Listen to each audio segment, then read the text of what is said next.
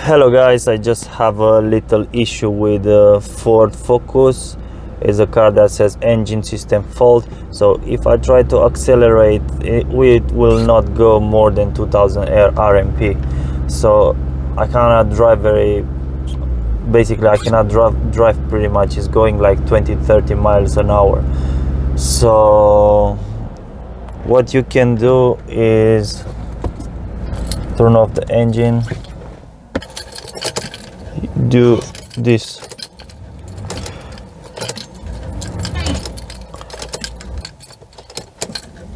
for a fresh start and are demanding an immediate general election.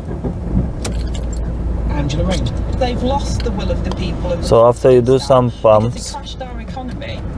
after you do some pumps it's going back to normal so now I can drive I think it's a problem with uh, the pump and the level. I, I just put some uh, diesel inside so this issue show after I have low um, low diesel.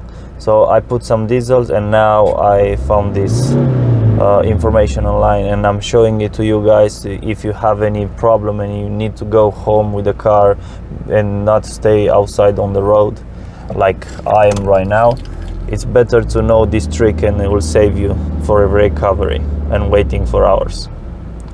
Thank you by the way i was low on petrol so because i was low on, on petrol maybe will lose some pressure. So when you do the ignition uh, trick it's gonna push some uh, diesel inside. It's gonna push some diesel inside and also you you will uh, you'll do more pressure for the diesel. And therefore you can drive now and go home. I hope you like this video and i hope it, you find that useful.